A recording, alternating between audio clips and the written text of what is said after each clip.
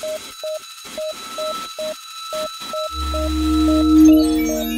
you.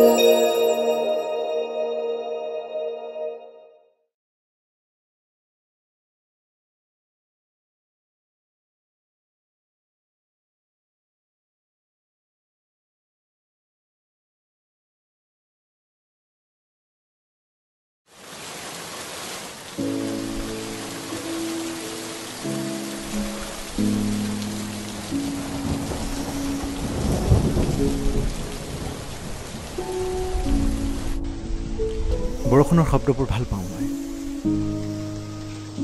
মোৰ আইতাই কিন্তু মোৰ লগত ভাল গেম খেলে সদায় ৰাতিপুৱা শুই উঠিয়ে কয় বোপাই বিয়াখন পাত চুচৰি বাগৰি হ'লেও তোৰ বিয়াখন খাই থৈ যাম কিন্তু এই ৰিচেপশ্যনৰ দিনা আইতাৰ ডান্স দেখিলা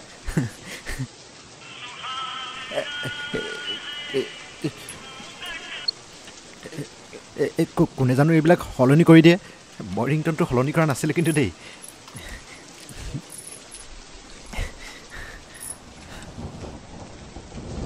একচুৱেলি আইতাৰ কাৰণেই বিয়াখন ততাতৈকৈ পাতিবলগীয়া হ'ল। চ' তোমাৰ লগতো বেছি কথা পাতিব পৰা নগ'ল বিয়াৰ আগত।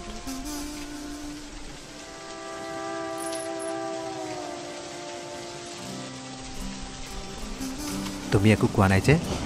টোপনি ধৰিছে যদি? নাই ধৰা টোপনি। মোৰো বহুত কথাই আপোনাৰ লগত পাতিবলৈ থাকি গ'ল। অঁ এতিয়াতো ক'ব পাৰা।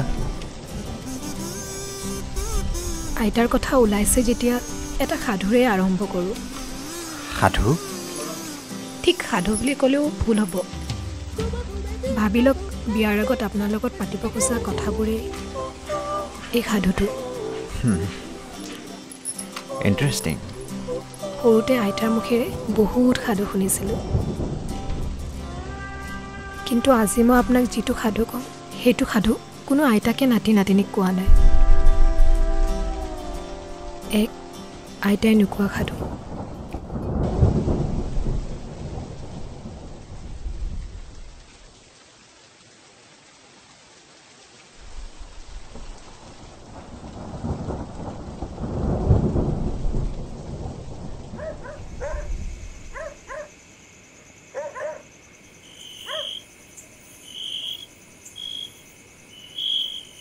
এটা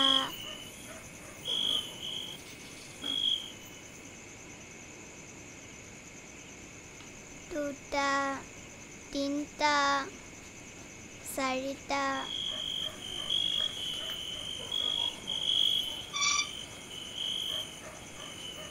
ঐ তোৰ পঢ়িবলৈ হোৱা নাই? আহ ভিতৰলৈ আহ। সদায় সদায় এনেকৈ হ'লে নহ'ব কিন্তু দেই। মই আইতাৰ পৰা সাধু শুনিহে যাম।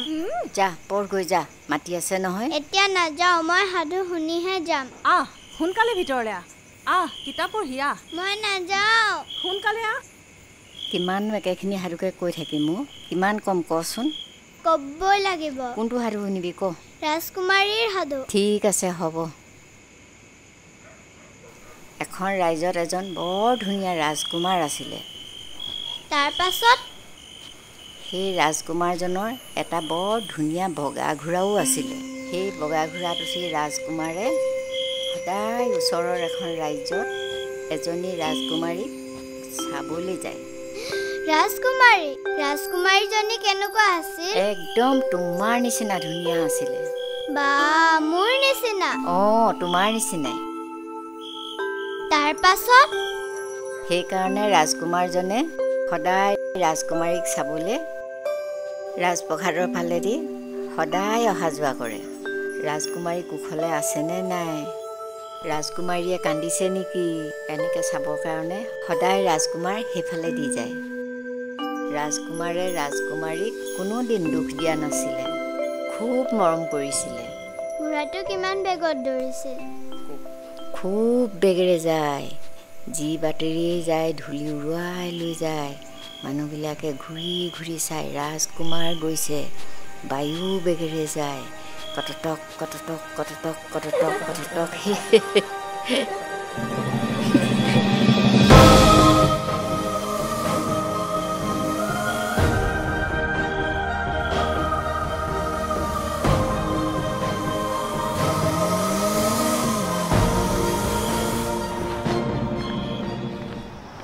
হাঁহিছ আৰু তাক অভিয়াছলি মাৰিম ন মই গাৰ্লফ্ৰেণ্ডজনী থাকোঁতে সি আকৌ বেলেগৰ লগত চিপকা চিপকি কৰে থ অ' এইজনী এই ল'ৰামতীয়া স্বভাৱবোৰ এৰিব হ'ল আৰু। চুইট হাৰ্ট প্ৰেমত মজগুল হৈ আছ তো। আইতাই কোৱা সেই সাধুটোত থকাৰ দৰে তোৰ ফেভৰেট ছোৱালীজনীয়ে হৈ থাক। চুইট এণ্ড চিম্পল জব ইয়ে দিল টুটেগা না তব তুম ভি বনোগি লৰামতীয়া যা। ব'ল জল্দি। আজি জানো তাক লগ কৰিবলৈ যাম অঁ যা যা। তোৰ সপোনৰ ৰাজকুমাৰ পালেহি। যাওঁ দেই কাইলৈ লগ পাম। হাৰামিটো চালা। প্ৰেম কৰিবলৈ আহিছ।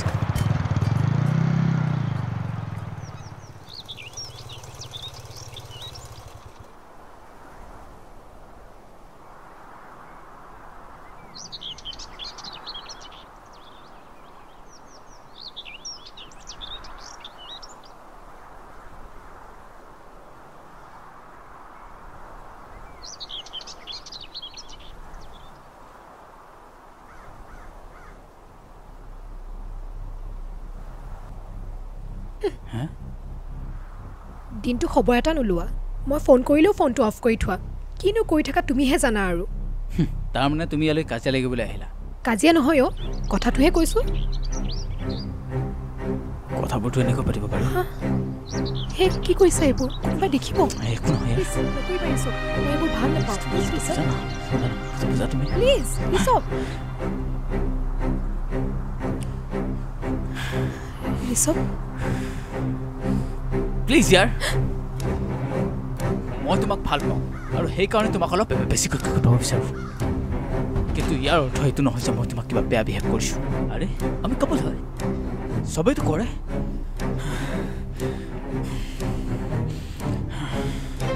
ঋষভ ময়ো তোমাক বহুত ভাল পাওঁ আৰু বিশ্বাসো কৰোঁ। কিন্তু এতিয়া এইবোৰৰ কাৰণে চৰি ব'লা গৈ থাকোঁ মনটো ভাল লগা নাই।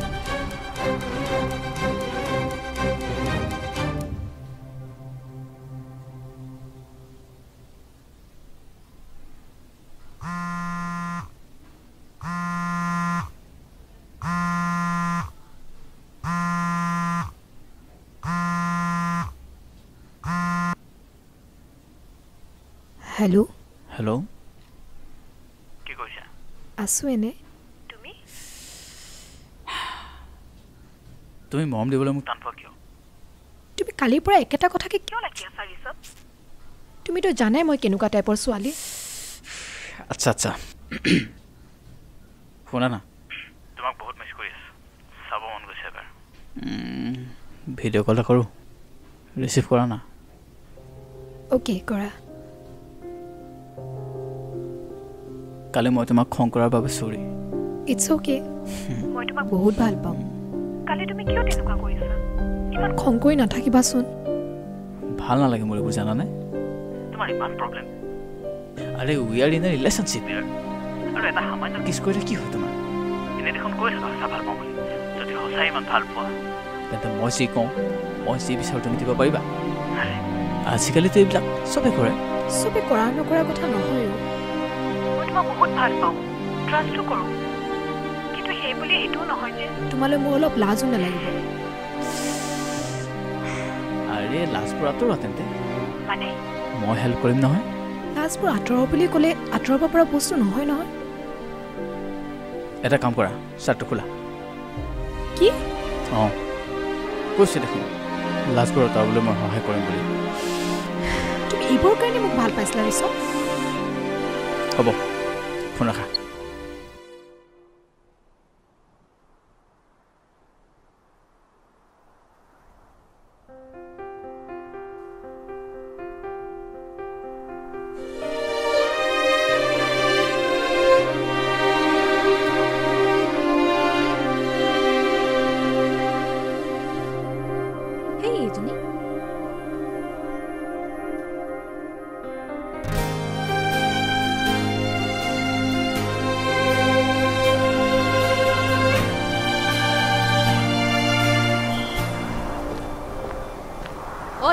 ৰ তোৰ লগত মোৰ কথা আছে। আহচোন তই একো কথাই নকবি।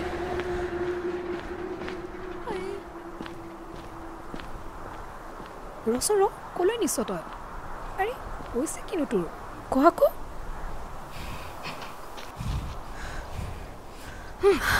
আৰে কি হ'ল?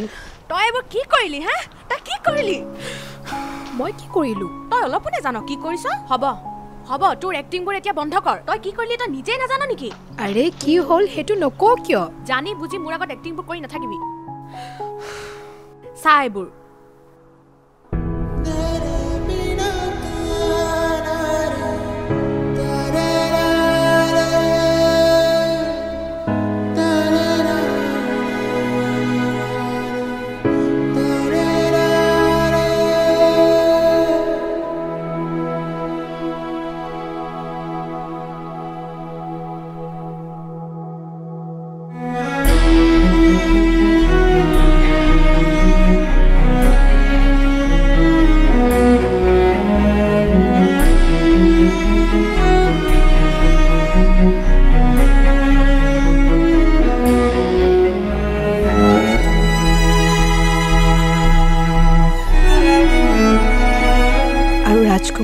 তেতিয়াই বুজি উঠিল। আইতাই কোৱাৰ সাধুৰ ৰাজকুমাৰজন আৰু তাই বাস্তৱ জীৱনত থকা ৰাজকুমাৰজন সম্পূৰ্ণ বিপৰীত। ঘটনাটোৰ পাছত লাজ অপমানত তাই ক'তোৱে মুখ উলিয়াব নোৱাৰা হ'ল।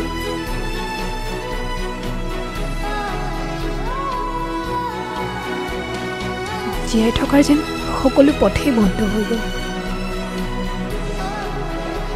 সমাজখনেও তাইৰ ঘৰখনক ক্ষীণাৰ চকুৰে চাবলৈ ল'লে। সকলোফালে যেন কেৱল অন্ধকাৰ আৰু অন্ধকাৰ।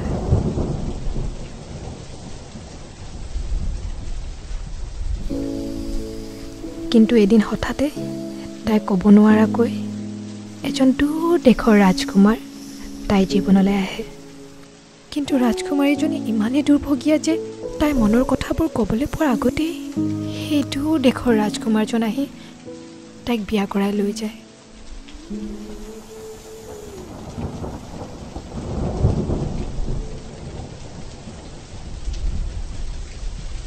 এই সকলো জনাৰ পিছত ৰাজকুমাৰজনে বাৰু ৰাজকুমাৰীজনীক আঁকোৱালি ল'ব পাৰিবনে?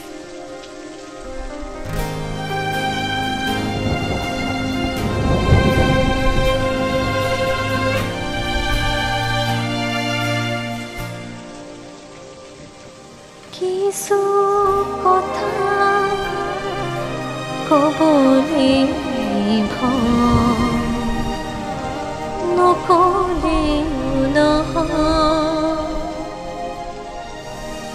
কিছু কথা সমাজে কয়, বুজি জানো লয়। আবেগরে যাতে প্রেমর